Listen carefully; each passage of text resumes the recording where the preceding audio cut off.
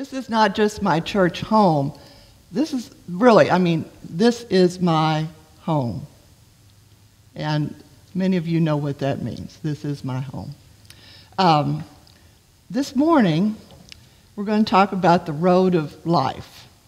And um, I guess my question is do you have a favorite road? I do have a favorite road. But first of all, let me, you know, sometimes if you've been to um, like Hawaii, the Hana Road um, is sometimes some people's, they talk about how pretty it is. Going to the Sun Highway in Glacier, we've taken the train out to Glacier and you can drive along the Going to the Sun Highway, and that's beautiful. Um, let's see, Route 66. You see the movies about that, and you you hear people talking about everything that happened on the Mother Road, Route 66. Then you got Music Highway in eastern Kentucky. My dad worked for AAA, and I did a lot of maps growing up, so I think about maps when I think of these places. But my favorite road is our beloved US 42. Uh, it really, it's, it's beautiful, as you all know. It's sometimes dangerous, curvy, sometimes falling into the river.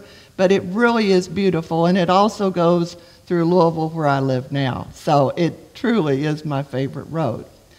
So roads are good, but as we all know, you sometimes come to forks in the road. And there's a parallel to all this with um, several different things. One is The Wizard of Oz, the movie. You remember The Wizard of Oz? And Dorothy, you know, ends up in the land of Oz, and here she is, and she has to get to the wizard, because the wizard is going to fix everything. The wizard, wizard is going to be able to get her home. So, excuse me. She said, they tell her, go down the yellow brick road. So, okay. She goes down the yellow brick road, then there's the fork. You remember where I'm talking about in the movie if you've watched that recently? And there's a scarecrow, and she says, Well, which way is right? And he, you know, points both directions. So sometimes those kinds of things happen to us. We're at those forks in the road. We don't know which way to go. That brings us to our scripture for today, Psalm 139. So I, let's, if you want to turn to that or just listen, we'll read most of Psalm 139. The inescapable God. O Lord, you have searched me and known me. You know when I sit down and when I rise up. You discern my thoughts from far away. You search out my path and my lying down and are acquainted with all my ways. Even before a word is on my tongue, O Lord, you know it completely.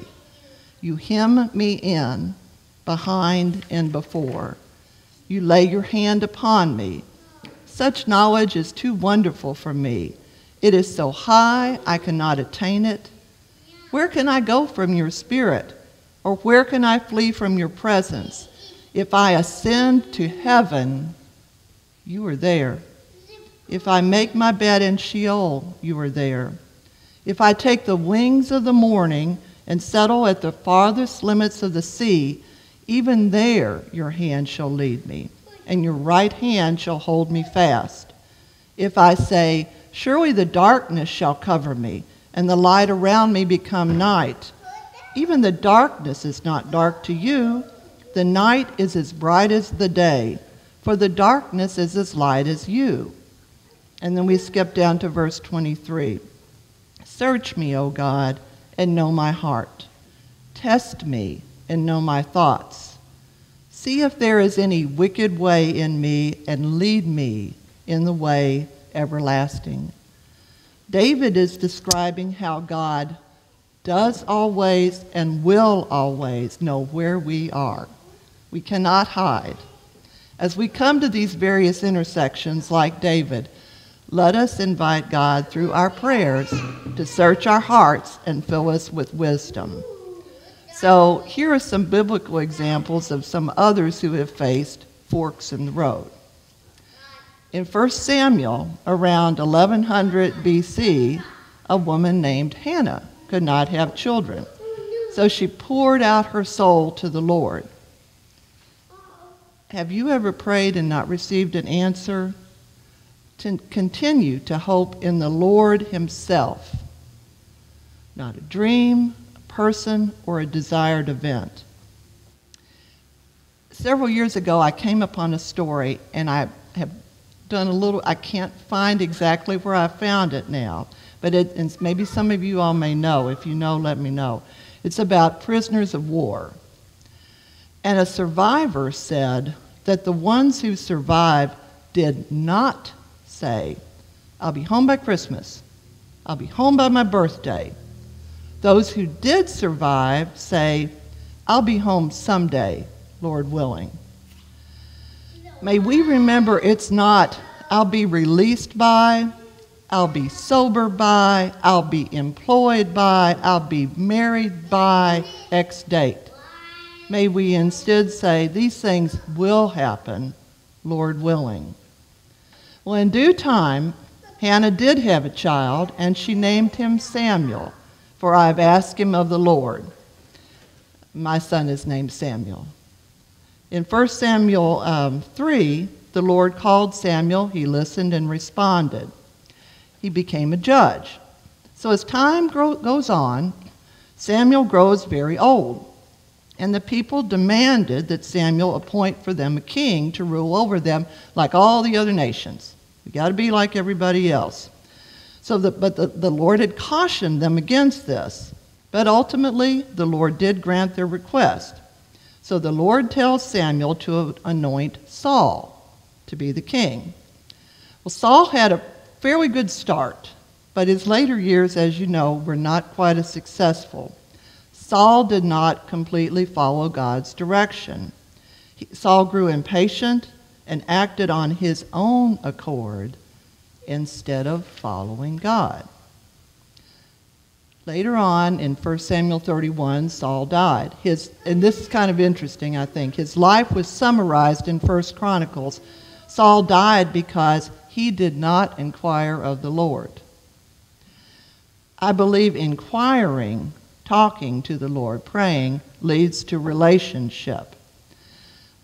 One of the major points, I think, of these lessons that I've thought about is our greatest need is a relationship with God, not just asking information or certain kinds of things, but the relationship with God. God desires a relationship, not just, we, not just that we ask advice on a certain subject. To that end, I have several friends who have sought God's direction on different kinds of subjects health, marriages, children, employment. One friend told me about asking God for healing in her marriage. Then her husband left her. Another friend changed employment in the spring, thought this person was going to a better work, working relationship, and then right before Christmas, the person loses their job. And no, the employer wasn't Scrooge, but my friend thought that they were. But these things happen, and you might say, well, why did God allow me to walk down that road? How, how could that have happened? I believe that the idea of relationship involves looking at the whole landscape, not getting hung up, if you will, on either the high nor the low of where we're going in this road, but look at this whole landscape. And when you do, you will, through God's help, be able to see better which, which turn to take. And when, even when you're following God's direction, some of these turns don't turn out so well. You still know, just like Shirley was explaining to the young people, that God is walking with you. Jesus is walking with you. That's part of our whole resurrection story here on this Sunday after Easter. Um, which kind of brings us to the idea of free will. God gives us free will, which is a wonderful gift, as we all know. Um, but the, the interesting thing about that and the thing which I think is, is one of those mysteries we have free will, we can decide which road to go down, but God knows what we're going to choose before we do it. You say, well, that doesn't make sense, and maybe, maybe it may not. But that's the way. We have the free will. God knows what we're going to do, and God is walking there with us down whatever path that it is. God remains in relationship with us. And if we maintain that relationship, I believe that when we inquire, we'll feel God's presence and relationship. You all may feel it right now. I do every time that I'm in here. I feel God's presence in this place. That's the basis of relationship. That's how we're, we're able to cope with life's challenges. It's not just, people talk about arrow prayers, and that, those are great. But it's not just an informational kind of a request, it's a relationship that we're going for. Um, to that end, sometimes they're wrong turns. There's several situations in the Bible where persons took those wrong turns initially. Rahab was a prostitute, yet she helped the men of God in their quest to enter the promised land. That's in Joshua 2. She is memorialized later in Hebrews and James 2 as being considered righteous, made right with God, and was part of the genealogy of Jesus Christ. In 2 Samuel 11, King David took a wrong turn with Bathsheba. The married woman, he observed bathing. She becomes pregnant. David puts her husband on the front line of the battle, pretty much assuring that he would be killed, and he was killed. David was then confronted by the prophet Nathan, and um, where Nathan points this out to him, and David realizes, oh, I did make that wrong decision. But then he does the next right thing and he confesses. David is characterized in Acts as a man after God's own heart. So even when we find ourselves on some of these wrong paths, confess. Go after God's own heart.